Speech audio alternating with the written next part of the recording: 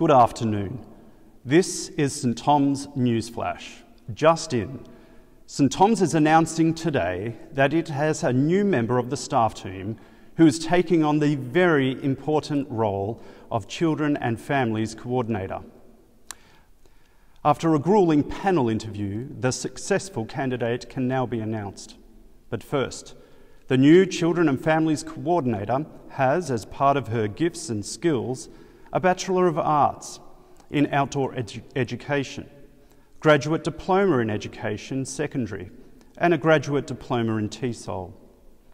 In addition, she has served at many churches in such positions as service leading, prayers, small group leading, and children's ministry.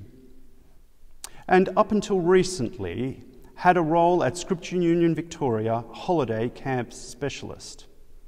I'm very pleased to announce that Rachel Gisbershamer is to be our Children and Families Coordinator.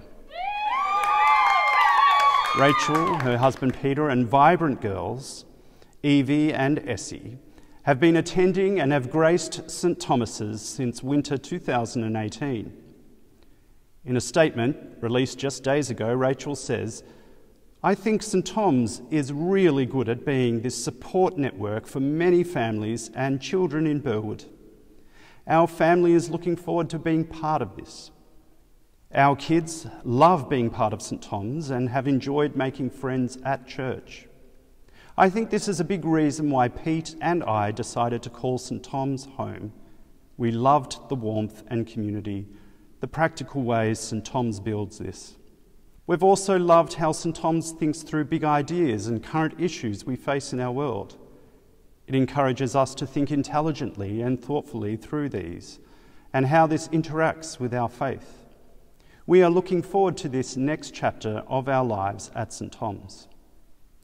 Well, Rachel, Peter, Evie, and Essie, we too are looking forward to this next chapter in our life at St Thomas.